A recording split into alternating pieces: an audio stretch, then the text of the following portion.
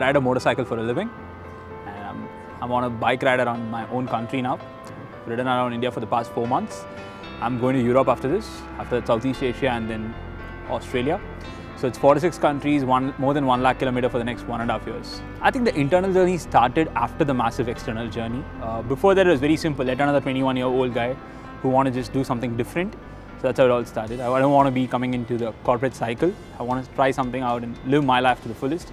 Couple of triggers were there in life. Uh, read an article of a 40 year old American who had lived a life full of regret. Then uh, read this article of people falling into the same story line in life. So said, I can't be this. When I turn old, I want to tell a story to myself. So that's how it all started.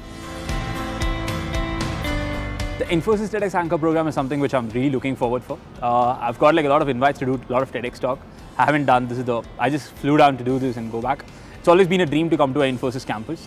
Never would have thought that I'd be coming here because my grades were not up to it and the skill set was not up to it. But yeah, now here I am doing an interview with you guys. So happiest moment. My neighbors would be really happy Look, who are watching this.